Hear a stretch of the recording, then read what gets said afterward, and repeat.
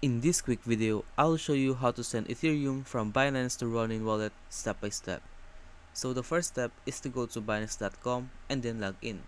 So unfortunately, you cannot transfer your Ethereum from Binance to Ronin wallet, but instead you can transfer your Ethereum from Binance to MetaMask and then MetaMask to Ronin wallet.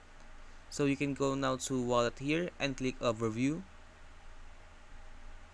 and then click withdraw click here and then type down Ethereum. Then go to your MetaMask wallet. Change to Ethereum network. Copy the address. Then paste the address here. Then select a network. Click Ethereum. And then type the amount of Ethereum you want to withdraw. But make sure it is 0.0098 Ethereum and above.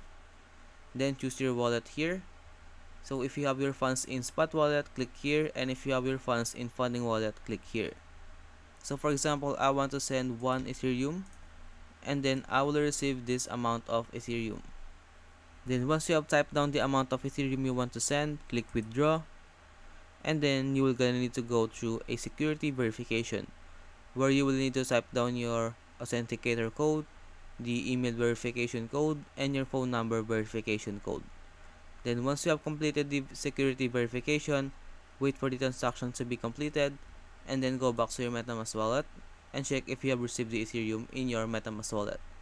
Now once you have your Ethereum in your MetaMask wallet, go to Ronin here, and then click deposit, click continue to purchase, and then on the right side here, click apps, and click bridge.